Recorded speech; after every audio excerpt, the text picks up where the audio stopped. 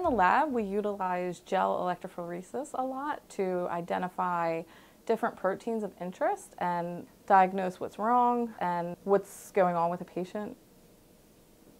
When we're looking at protein, that is referred to as a Western blot. And when you are looking at DNA, that is used with a different type of gel. It's um, agarose gels.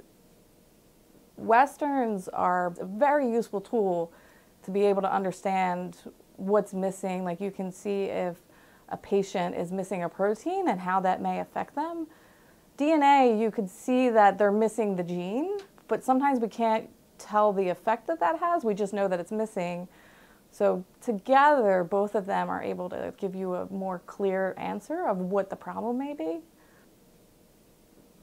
For the Western, the gel is stood up and you take your pipette and you're loading over top. And for an agarose DNA gel, it's laying down, but it's, it's a very similar process of just letting it release slowly into the wells. And then as soon as you apply the voltage, everything will start running down we call it run to red. So they have a black electrode and a red electrode, and it goes from positive to negative. When you are running down the gel, the smaller your size is, you're going to go further down. So the, the higher your weight is, you're going to be at the top, and then the smaller stuff will migrate down the gel.